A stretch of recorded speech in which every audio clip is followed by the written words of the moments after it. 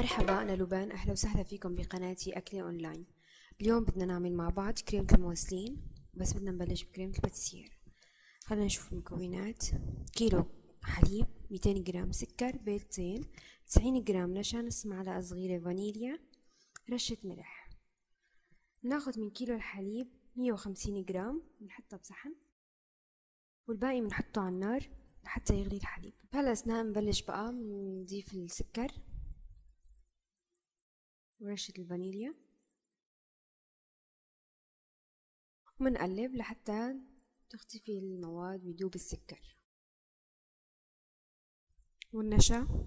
منضل منحرك ومنقلب لوقت ما تختفي كل المواد وتمتزج كلها مع بعضها. بعدها بنضيف البيض. كريمة ال pâtissière كريمة كتير طيبة بنستخدمها بحشي ال éclair وبحشي ال tarte كمان. هلأ بعد ما امتزجت المواد كلها مع بعضها بنبلش بإضافة الحليب المغلي على مهل مع التحريك. ونضيفها شوي شوي حتى ما ينطبخ البيض معنا وضروري نحرك. بنضل بنحرك لوقت ما يسمك المزيج ويغلي له شوي مشان ينطبخ النشا. بعدها بنطفي تحته بنقلبه مباشرة على صحن. هو سخن نقلبه بنغطيه بكلينك فيلم. كلينك فيلم لازم يلامس سطح الكريمة. وهي سخنة بنغطيه ولازم يلامس سطح الكريمة تمام مشان نمنع تشكيل قشرة. فبنكب كمية كبيرة من الكريمة يعني بنعيفها لتبرد لتاني يوم. إن شاء الله ألف صحة وهنا. كريمة الموسلين ناخد كريمة الباتسير الباردة. أشرنا عنها الكلينك فيلم. نضيف تماما قشرة ما في. وهي الغاية منه. نحط الكريمة بالخفاء. الخفق كتير كتير مهم وكتير ضروري. عشان تتجانس كلها مع بعضها وما يكون عندنا تكتلات فيها أبدا أبدا. حتى بالخفاء وبنشغل على أعلى سرعة. هون عم بقشط الحراف. دائما هذا لما نكون عم نخفق لازم نحن نوقف شوي عملية الخفق ونحرك نشوف إنه يعني في شيء لازم ينخفق يكون على الطراف ما مخفوق. خلصنا خفق الكريمة برجع على صحنة.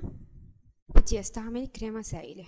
هلأ أنا بصراحة سبايا تعمدت إنه أنا ما أغسل نظف الخفاقة أو صحن الخفق لأني تمام يعني إنه نحن عم نشتغل بأكلة وحدة. بنرجع بنزيد الكريمة بنفس الصحن ما بيأثر. أخذت هون شي 600 جرام بدي أضيف كميات متساوية يعني حطيت 600 جرام كريمة بدي أخذ 600 جرام crème pâtissière. مشان تصير كريمة ال mousseline.